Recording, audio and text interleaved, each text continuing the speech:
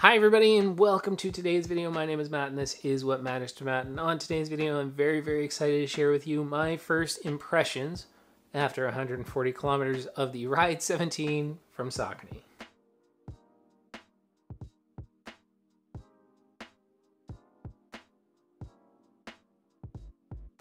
All right, so of course we're gonna go over the upper, the midsole, and the outsole of the shoe, and I'm gonna tell you whether I feel like the Ride 17 has been worth my hard-earned cash. But first, I think it's important to talk about what got me so excited about the Ride 17 in the first place. What had me going out, rushing to the store when it first came out here in Canada and purchasing this shoe. And then we'll talk about how I've put those 140 kilometers into this shoe and how I see it fitting into my rotation moving forward. Okay, so what got me so excited about the Ride 17? Well, it's pretty simple. It was the changes to the midsole. Now, there are some other changes throughout the shoe that we're going to go over in this review, but the midsole was the highlight. The midsole is what everybody was talking about. And that change was that they went from a standard EVA that you're going to find in something like the Ride 15 that I have here and also the Ride 16, the Saucony Power midsole, that's fairly firm, fairly stiff, a little bit harsh in today's standards, even for a daily trainer, but was something that I was quite comfortable in using as a daily trainer just a two, just two years ago when I first got this shoe. Uh, I even remember doing a video where I took this and put it up against the Saucony Endorphin Speed, and I did an interval session one week in this, and an interval session in the same interval session the next week in the speeds, and I got very similar paces. This certainly wasn't as exciting, but because of the firmness in that midsole, it did make it fairly versatile. It was a lighter shoe.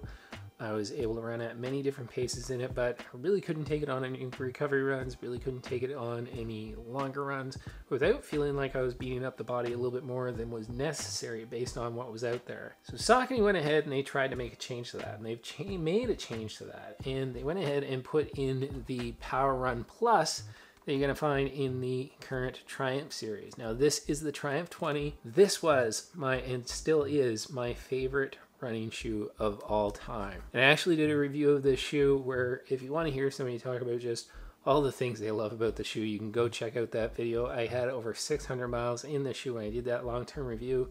I'll put a link to it up top here.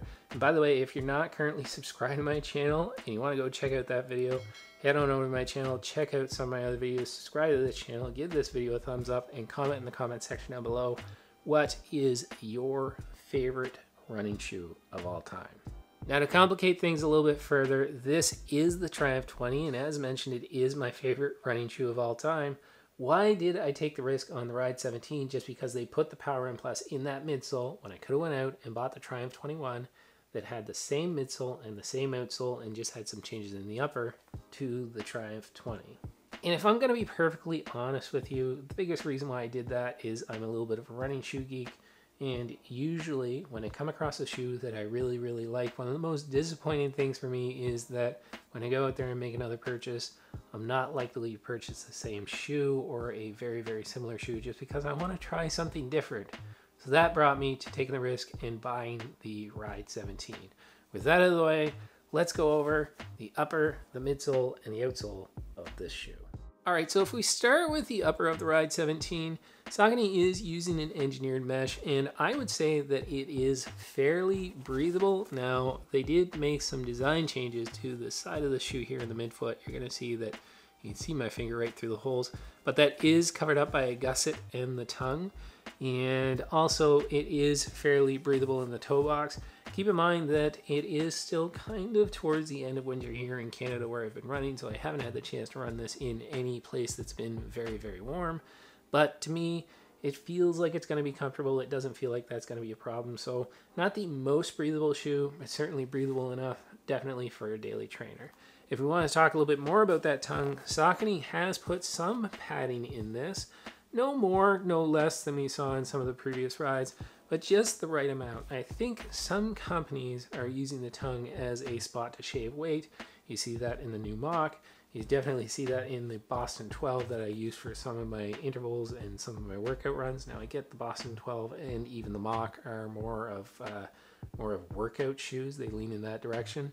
But we're seeing that in a lot of shoes that they have really, really thin tongues. And I find that there's just the right amount of padding in the Ride 17 tongue that doesn't cause any lace bite. And keeps it nice and comfortable. And also with that gusset and that padding, tongue doesn't seem to migrate at all on me when I'm out there on the run. When we go a little bit further and talk about the padding back here in the heel, there is what I would consider kind of the Goldilocks amount of padding. There's not too much and not too little. It just seems to give me a really, really comfortable feeling, a really good lockdown. My foot feels nice and snug back here in the heel, and it's not overly done, so it doesn't get that hot. And the other thing to mention here back in the heel is the structure. There's lots of structure back here. When I try to push on that, there's very little give whatsoever. So very sturdy back here, very good lockdown back in the heel. The other thing to mention with the lockdown is the lacing system. Saucony has changed the lacing system on this shoe. You'll see that there's these this uh, fabric uh, woven up through here and these little loops and the the laces are going through these loops.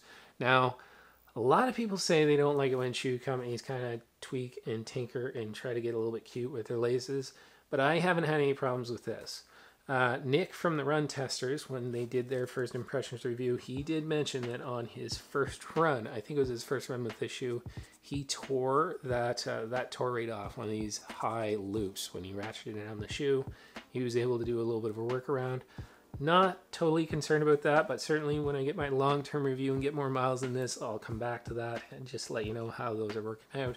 But overall, I would say the upper is really, really comfortable and fits my foot really, really well.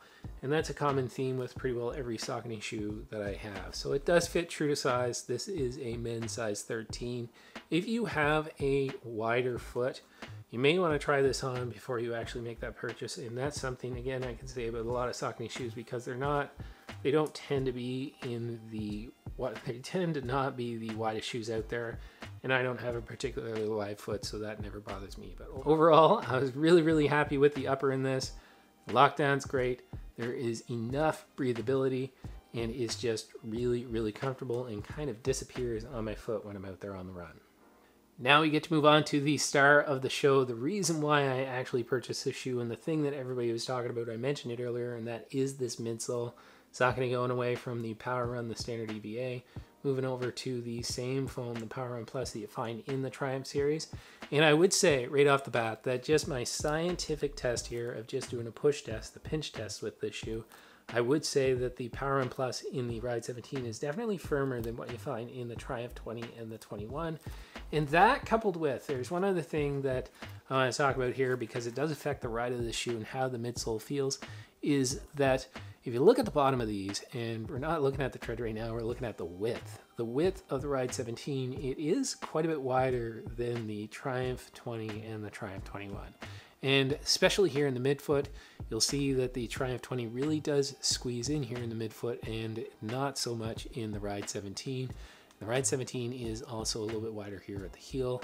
And what that does is between the firmer foam and the, the little bit firmer foam that we have in the Power Run Plus, and the width of the shoe being quite a bit wider than the Triumph is that it is a more stable ride. It is something that's a little bit more dependable, a little bit more daily trainer-ish, but there is some things that you give up with that. It feels a little bit less energetic, feels maybe even a little bit less fun than we found in the Triumph 20, but it's kind of exactly what I was looking for in this shoe. I still think there's enough forgiveness in that midsole that you can use it for recovery runs, can use it for easy runs. You can use it on longer runs, and you do still get some energy return that will give allow you to clip along at a steady pace and do strides and all that fun stuff. But it's a little bit more boring than what we find in the Triumph. So if I was going to uh, actually put the ride of the Ride 17 versus the ride of the Triumph, the Triumph's a little bit more fun. The Ride 17 is a little bit more dependable. Uh, really something that, that I like using for a daily trainer. I don't need anything too exciting. Dependable, able to clip along and log lots of miles in, which is what I get from the shoe. And in fact, uh, that long run that I did yesterday proved that to me, that I was able to just go along at a steady pace. 28 kilometers later, run was done and I felt good. I felt fine. I feel great today. So overall, really happy with that midsole. It's a really dependable daily trainer midsole. There's enough energy return. There's enough forgiveness, there's enough comfort there. You can log tons and tons of miles without worry. And given that I was able to get so many miles out of the Triumph 20, I also feel that this midsole is going to hold up really, really well and it's not going to go dead anytime soon. All right, so lastly, let's talk about this XT900 rubber that you're going to find on the outsole of this shoe. Now, I have taken this through a lot of junk. I'm in Canada. We've had a Canadian winter, lots of snow, lots of ice, lots of slush, even some rain lately. So conditions haven't been perfect, and uh, it's it's fairly grippy. It's held up pretty well. It's kind of surprising. It's better than some previous Saucony shoes I've had. Now that XT900 rubber, the one thing that I will say that it has going for it is its durability. It's not the grippy issue. It's certainly not Puma grip. It's certainly not Continental rubber, but it's very, very durable. And again, this wasn't meant to be a comparison video, but I want to keep going back to it because I think there's a lot of similarities in these shoes.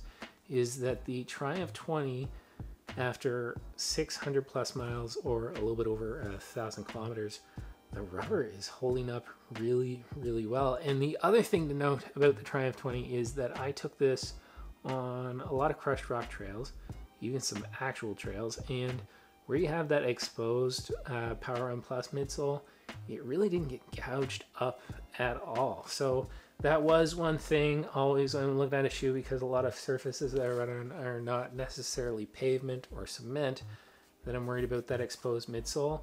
But again, I feel I feel like that Power Run Plus is a, a solid midsole is not going to get chewed up too bad. So even though there is this big section here uh, of exposed midsole, I'm not too worried about it overall. So I would say the outsole of the shoe is not perfect. It could be a little bit more tacky. It could be a little bit more sticky. It could have a little bit better grip, but it's it's a solid outsole and it's going to last plenty of plenty of miles put in the shoe. One last thing I want to mention before we get to whether I feel like the Saucony Ride 17 was worth my hard-earned cash is the weight because the shoe has gained quite a bit of weight. And if that's important to you, like it is important to me, that might be something you want to consider. And if I look at the Ride 15, now I don't have the scale in front of me, but I weighed these earlier, so I'm going to try to go by memory. I'll certainly put a video up here just to confirm it. But I think the Ride 15 here, and these are all a size 13 that I'm comparing, but the Ride 15 was around 297 grams in a men's size 13, which is a pretty light daily trainer. The Triumph 20, which I would consider a daily trainer leaning towards max cushion, was 316 grams. I might have that wrong, and I'll definitely put the ounces up here on the screen too. But I think it was around 316 grams, which still is pretty light in comparison. Size 13 foot to some other shoes out there on the market with similar stack heights and, and supposed to do similar things. The Ride 17, when I put this on the scale and found out that it was 344 grams, that's a big jump from the Ride 15, even from the Triumph 20. And what surprised me most is that I didn't really feel that out on the run. I knew it had gained some weight because I had heard it had gained some weight, but when I weighed them, found out it was that much. That kind of surprised me. So something to consider, but I will say that I don't notice that on the run. It, it feels because of that change in the midsole material, it does feel more energetic than the previous rides. So the the weight doesn't become a problem for me, which usually isn't something I can say. The Nimbus 25, that was one of the biggest complaints that I had with that shoe. But the midsole on that shoe didn't give me the same kind of energy return that I'm getting out of the Power Run Plus that you find in this. All right, so we've talked about the upper, we've talked about the midsole, we've talked about the outsole, and I really haven't had that many bad things to say about it. I feel like I've talked all good things except for the weight. So is there anything that I would change about the Ride 17? Well, I will say that a lot of times when I'm talking about a shoe and I'm talking about a daily trainer, I bring up this idea that I don't need it to be overly exciting. I don't need it to be overly energetic. I just want something that's going to allow me to log lots of miles and protect me and protect my body as we get further into marathon training. And the Ride 17 does that.